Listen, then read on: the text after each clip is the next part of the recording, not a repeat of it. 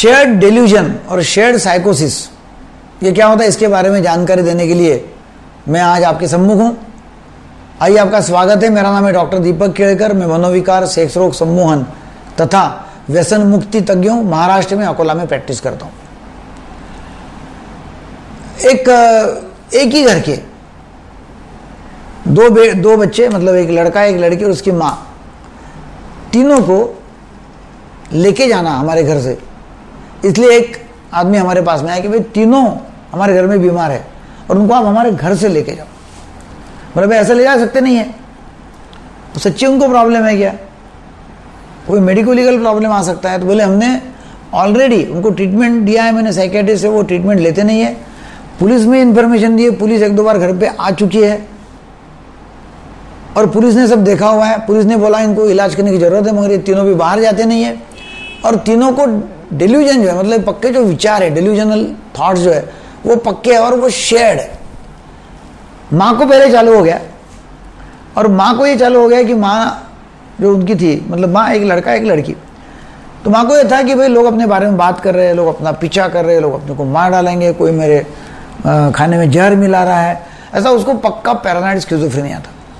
कभी कभी वो बेमान हो जाती थी, कभी गुस्से से मारपीट भी करती थी।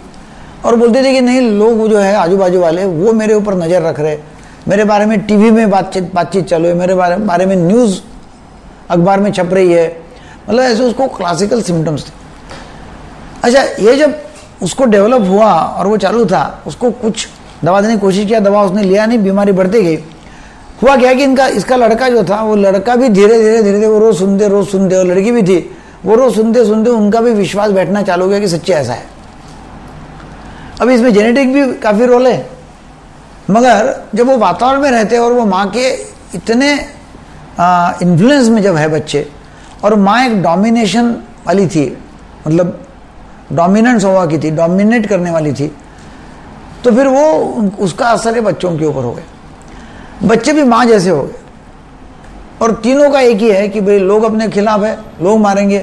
वो अपने पिताजी के, बच्चे अपने पिताजी के पीछे लगते नहीं अपन घर बदलेंगे यहाँ अच्छे लोग नहीं है, अपने को कुछ ना कुछ कर डालेंगे। पुलिस में कंप्लेंट करते थे, पुलिस में जाके बोलते थे कि भाई हमको लोग पीछा कर रहे नाम बोलते नहीं थे कि इसका पुलिस क्या एक्शन लेंगे जब है नहीं कुछ तो।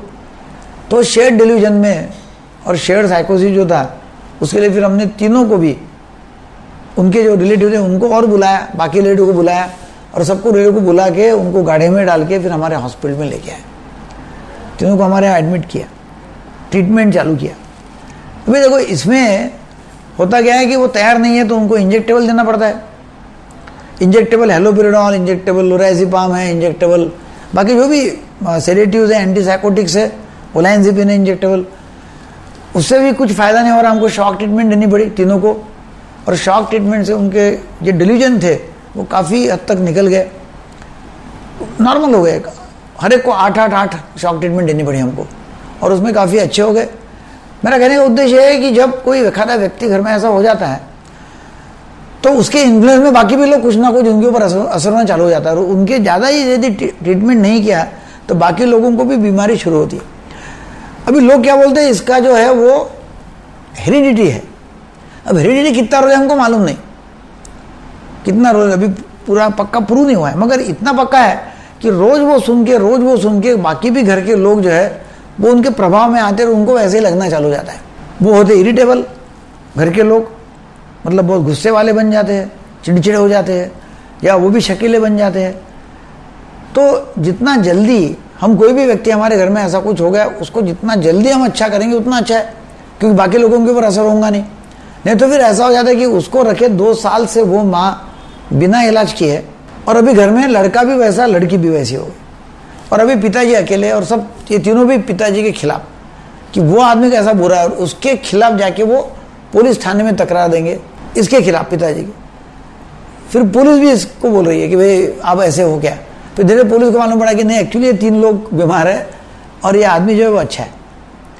तो उन्होंने जब ट्रीटमेंट किया तो ये तीनों भी अच्छे हो गए।